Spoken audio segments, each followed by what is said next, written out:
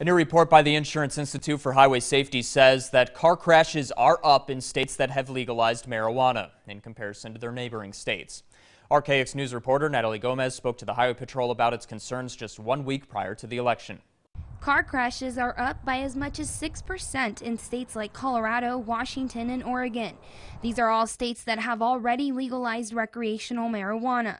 And stats like that are something that worries law enforcement. Law enforcement today is already dealing with impaired drivers on the roadway, whether it's through marijuana, opioids, any other type of illegal or illicit drug. Sergeant Cattermas says he foresees that more impaired drivers will be on the road if marijuana is legalized. However, even if Measure 3 passes, driving while under the influence of marijuana will still be illegal. Nothing's really going to change with how we're going to conduct traffic stops. We're, law enforcement is still going to be aware. Testing for marijuana impairment is a lot like testing for alcohol impairment.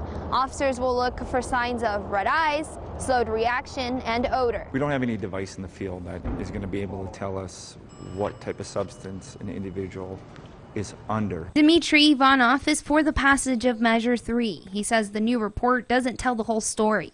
You're going to find anything on studies to prove what you want to believe. He says the study doesn't actually link marijuana as a factor in the crashes. It just claims crashes in those states are on the rise. It's not just so we can be stoners, it's so that we can have the medicinal value, qualities of it.